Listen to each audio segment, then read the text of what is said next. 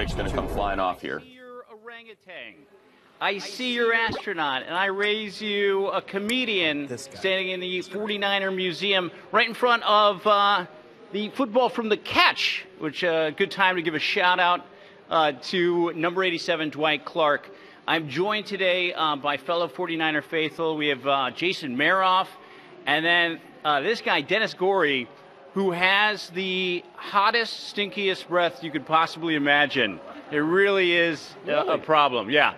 Uh, for the uh, 146th pick in the 2017 NFL Draft, the San Francisco 49ers uh, pick good friend of CJ Beathard, George Kittle, tight end from Iowa.